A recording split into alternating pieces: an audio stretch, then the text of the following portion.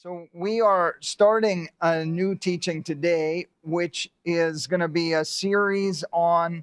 It, it, it, entails the gifts of the Spirit, but really it's it's entitled "Making Room for the Move of God's Spirit."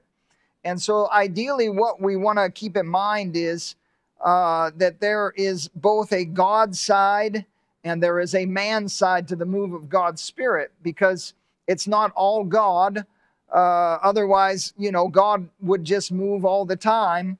But if we look at the history of God working in the earth, God has the pattern of raising up men that will cooperate with him, by which he is able to manifest himself through them uh, to accomplish his will in the earth. And, and so uh, that's what we're going to kind of gear ourselves to is making a room or, or making a, a create, we could say creating an atmosphere where we learn to cooperate with the Holy Spirit so that He can move. And uh, everybody, if you can please mute your microphones because uh, we're also recording this. so, um, so that that's the that's the gist of what we want to do. We want to learn to cooperate with the Holy Spirit and, uh, and, and create that atmosphere by which he can accomplish what he desires. Now, I, I want to start with a scripture just in First Timothy. So, First Timothy chapter 1. So, this is Paul writing to Timothy, who was pastoring the church of Ephesus at the time. And he writes a very important element that I think many times we overlook or, or don't uh, give the attention to it that we need. And this is in 1 Timothy chapter 1 verse 18. He says, "This charge I commit unto thee, son Timothy, according to the prophecies which went before on thee, that thou by them mightest war a good warfare." So I want you to understand that there are certain things that God speaks concerning our lives that with those things we are able to walk in the victory that Christ has won for us. Um, so he says, you know, there were prophecies that went before on him. Well, this brings me to this presentation of the matter. Uh, imagine if those prophecies were not spoken. So, if there were prophecies that Timothy needed to war a good warfare that were spoken to him, that he had to take a hold of and he had to use those. If they, those prophecies had not been spoken, then Timothy would be lacking in things that he needed to war a good warfare. And uh, so, one of the things that we consider about the gifts of the Spirit is, you know, that they are part of what God has intended for us to walk in the victory that Christ has won for us. And so if if we have uh, gifts of the Spirit working in our lives, but we do not learn to cooperate with them and release them, then there are hindrances to the body of Christ. And oftentimes, people may experience defeat where they should be walking in victory. Uh, now, again, one of the things that I stated before concerning the gifts of the Spirit, or, or really concerning almost any Bible doctrine, there is both a God side to it and there is a man side to it. And we look at God at work in the history of man. When God wants to do something in the earth, he raises up a man to do it. Uh, we see him raising up Noah to preserve Noah and his family, or we could say to preserve a, a, a line of righteousness in the earth. Uh, we can see God raising up Abraham and delivering to Abraham the promises of the covenant that God uh, enjoined to him. We see God raising up Moses to deliver the children of Israel out of Egypt, and, uh, and, and Moses took them to the edge of the promised land, but then we see God raising up Joshua to take them into the promised land. And uh, time after time again, we see God raising up men who will cooperate with him so that God can accomplish his will in the earth. So when we talk about making room for the move of God's Spirit, we're simply talking about ourselves being in a place and creating an atmosphere that God can move in, that God can move through us. Now, this brings me to the, the place where I want to start with this teaching. Of, of course, I've kind of laid some introduction, but in the book of Judges, so starting back in Judges, uh, let's turn to Judges chapter 2 and verse 10. Now, we have to remember so this setting brings us to the place where Joshua had taken the people into the promised land and they began to possess their, their inheritance. And um, they, they've seen the mighty works of God. So they've seen God bring water out of the rock. They, many of them were there to see the Red Sea divided. So they've, they've witnessed the great power of God in demonstration. Okay, so in, in the days of Joshua, that is.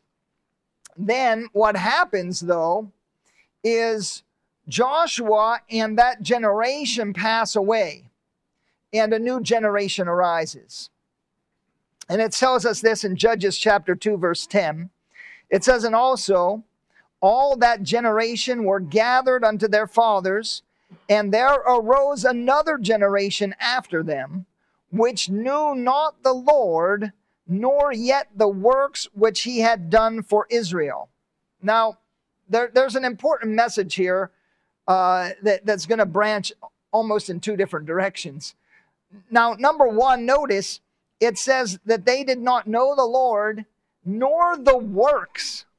Okay, so so this generation is not conscious of, is not exposed to, has, has not the knowledge of the mighty works of God that were done before them.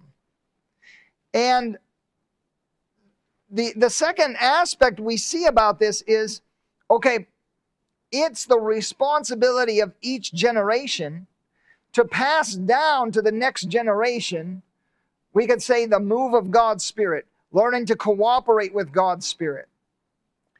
Uh, when I think of my own life, uh, a lot of what I experience today as to as pertaining to the gifts of the Spirit and operating in the things of the Spirit, I had witnessed in my dad's life.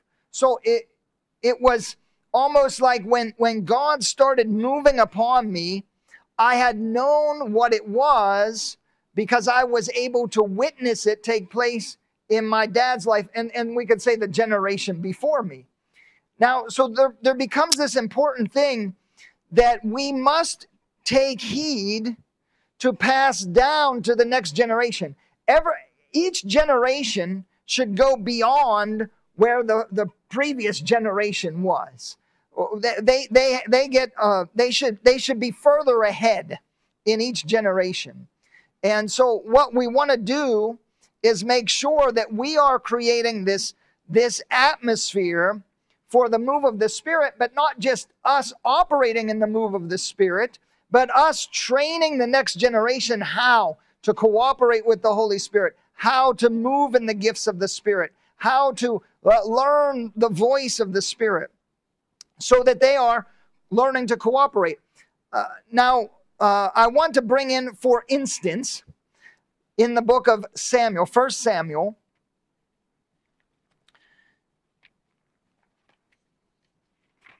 Now, First Samuel, we, we are exposed to Samuel's beginnings. And so Samuel, as a child, was dedicated to the work of the Lord, and Eli had taken Samuel in under his care. Uh, Hannah, Samuel's mother, dedicated Samuel to, to the Lord and to his work. Uh, so Samuel was, we could say, you know, presented to the Lord, given to the hands of Eli. Eli trained up Samuel. So uh, there becomes this time when uh, in First Samuel chapter 3, and we're going to start here. We'll read, starting in verse 1, we'll just read down till uh, about verse 9. He says, And the child Samuel ministered unto the Lord before Eli. And the word of the Lord was precious in those days. There was no open vision. And it came to pass at that time when Eli was laid down in his place, and his eyes began to wax dim, that he could not see. And ere the lamp of God went out in the temple of the Lord, where the ark of God was, and Samuel was laid down to sleep, that the Lord called Samuel, and he answered, Here am I. And he ran unto Eli and said, Here am I, for thou callest me. And he said, I called not, lie down again. And he went and lay down. And the Lord called yet again Samuel. And Samuel arose and went to Eli and said, Here am I, for thou didst call me. And he answered, I called not my son, lie down again. Now Samuel did not yet know the Lord, neither was the word of the Lord yet revealed unto him. Now, so this becomes an important aspect. So Samuel has not yet been operating in the things of the Spirit. Uh, but but God starts calling him. Samuel begins to hear God's voice. Samuel does not know it's God's voice. Samuel's a young boy at this time. And uh, so the Lord starts to call Samuel. Samuel starts to hear God's voice. And Eli starts to instruct Samuel what to do in responding to God's voice. And so we see that it says in verse 8 And the Lord called Samuel again the third time, and he arose and went in to Eli and said, Here am I, for thou didst call me. And Eli perceived that the Lord had called the child. Therefore Eli said unto Samuel, Go lie down, and it shall be if he call thee, that thou shalt say, Speak, Lord, for thy servant heareth. So Samuel went and lay down in his place. And of course, what happens? In verse 10, it says, And the Lord came and stood and called as at other times, Samuel, Samuel. Then Samuel answered, Speak, for thy servant heareth. And so what happens? Samuel begins to recognize the voice of God and begins to cooperate with the voice and the calling of God upon his life. Now, Eli was the one who helped Samuel to know okay, the, the Lord is calling this boy. I need to instruct him what to do. And that's what Eli did. So Samuel began to respond and said, Okay, Lord, I'm here. Your servant listens you know, speak. Your servant's here listening. Uh, but the point is, again, so it, it becomes the responsibility of each generation to prepare the next generation for the workings and movings of God's Spirit. And because we need to remember this, uh, the gifts of the Spirit have not passed away. The gifts of the Spirit are not, you know, something that's for a select few uh, God divides them in the church severally as, you know, is good to Him. The, the Holy Spirit divides the gifts. Uh, and these things are everyday necessities in our lives. They, they are part and parcel of what God has called and purposed the church to be.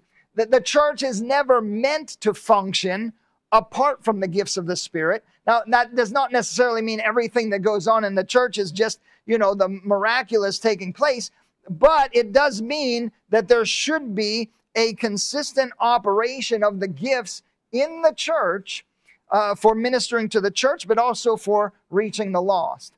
And so, in, in the days of heightened uh, satanic attack, uh, we need uh, the, the, the manifestation of the Spirit to, to edify and build up the church and to put to flight the armies of the enemy. And so these are uh, things that are meant to be present operating in the church, but a lot of times they aren't, and uh, partly because we have not done uh, due diligence to pass it down from generation to generation.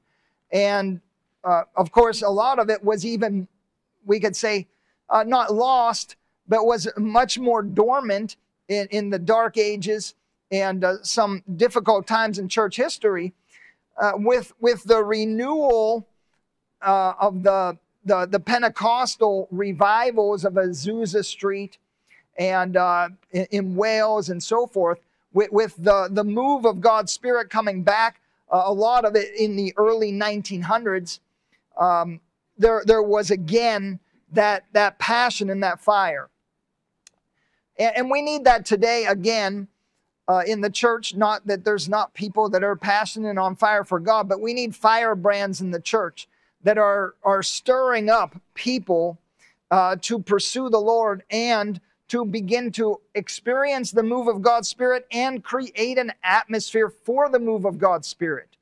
Because ideally, we know the scripture says in Zechariah chapter 4, verse 6, not by power nor by might, but by my spirit, says the Lord. And so we, we have to have the power and demonstration of the Spirit at work. So back to Israel, they, they you know, they saw the mighty works of God, those who were delivered out of the land of Egypt, those who walked in the wilderness, uh, those who, who entered into the promised land. They saw the work of God and his mighty power. But then that nation, that, that generation died, and the next generation that arose, it says they knew not the Lord, nor were they uh, you know, knowledgeable of his works. They, they, didn't, they didn't experience the works of God. They didn't experience his power. And, and what happened was that generation began to seek unto other gods. They, they began to pursue false gods and idols. And, and they, they, they walked away from the Lord because they didn't know him, nor did they know his power. And, uh, you know, a lot of times, even if we look today, uh, many of the youth are kind of carried away by other things. And, and, so the church has tried to satisfy the need. You know, we have uh, flashing lights many times, and we got, you know, loud music, or we, we've, we've gone to all these different entertainment routes to try to, to woo the young people in. Uh, but all these things that are just external are not going to satisfy the cry and the hunger that each man has for the spiritual, for the supernatural working of God. God created us with a desire for the supernatural. And so when they don't find that in the church where it should be, they go and pursue it elsewhere. And uh, many times get, you know, looking at the wrong things instead of pursuing a, you know, what God really designed for man. Uh, the Bible even tells us to desire spiritual gifts, to follow after spiritual gifts. So it's not something that God, uh, you know, doesn't want us doing. It's something that God is interested in us being interested in. And so that is the supernatural working of God. So if we look at what happened with Israel, and what happens many times in generations, if we haven't properly trained up the next generation, if we haven't properly created in them a, a proper desire for the things of God, what happens is, is they, they get distracted by the things of the sense life. They're, they're distracted more by what their flesh is, a, what, what appeals to their flesh, what their flesh desires, rather than what their spirit is hungering for. And so when we look at the, the pattern of Israel also, Israel turns away from God. And what God ends up doing is raising up judges, deliverers, who end up delivering Israel out of the oppression that they find themselves in and turning them back to God. And, and many times with these deliverers, what does God do? God uses them and displays his mighty power at work with them or through them. Uh, of course, we can, you know, if we looked at Samson's life, Samson was one where we see the miraculous of God at work in his life to deliver the children of Israel. Well, what, what is God doing? God is again showing forth his power. God is, you know, is, is, is demonstrating what? The, the works that the, that generation hasn't necessarily been seeing. And so the same thing is true in our day and our time. Uh, God is desirous of demonstrating his mighty power and his works. Uh, I remember one of the things that, that uh, my uncle used to quote he would say, you know, God doesn't only want us to take his love, but he also wants us to take his power. So it's not just enough to take the love of God, but pity without a remedy is really no no cure. I mean, if you if you you can feel bad for somebody, but if you have not the means to help them, you've left them in their condition and it's no cure for that person. But so it's not just enough to have compassion, but we also need the power of God in manifestation to help deliver them out of their situations. And that's what God did at those times. He would raise up a deliverer, He would raise up a judge who would also have a, a, a, the working of God's power through them to deliver Israel out of their bondage. So God demonstrated His power delivering them out of oppressive hands. So ideally, and this, as I said, we're, we're going to do a series on these teachings that, that talk about creating an atmosphere for the move of God's Spirit or making room for the move of God's Spirit. Uh, what we want to do is we want to learn to give place to God, uh, not just be so uh, satisfied with our programs or you know satisfied with this is how we've always done it and this is how we continue to do it no, we want to learn to give place to the Spirit of God and ask Him or, or give place to Him. Because otherwise, we can, you know, we can program the Holy Spirit right out of the whole thing. We can uh, make our own programs and, and, uh, and, you know, run our programs. But if we run our programs without the Holy Spirit, we're, we're not doing anyone any good. So ideally, we want to be able to create an atmosphere for the move of God's Spirit. And that's what this particular series of teaching is going to be about, and uh, possibly getting into teaching on the specific gifts of the Spirit. But uh, the idea is not necessarily the specifics of the gifts of the Spirit, but the specifics of creating a place where the gifts of the Spirit can flow creating a place where we cooperate with the Spirit so that He can flow through us as, as He desires. And that, that's the idea that God has in mind for the church. Uh, if we look at the, the life of Jesus, how God anointed Jesus of Nazareth with the Holy Spirit and with power. He went about doing good and healing all that were oppressed of the devil, for God was with him. Okay, so that's the idea. What we see in Jesus is what God has in mind for the church, how God anointed Jesus. God has anointed the church. God has put different members in the church, and each member having its proper place in the body. And so we want to learn how to how, how to utilize the different members by cooperating with the Holy Spirit because that's where the church becomes profitable to one another, but also uh, in the world. We become the light that the world desperately needs. Uh, or we could say we become, we are the light that the world desperately needs, but we become the evidence to the world, that, that light shining. Uh, we are the light of the world, but let your light so shine. And uh, oftentimes, if we aren't letting our light shine, uh, we are, you know, we're in the world, but the world isn't seeing much.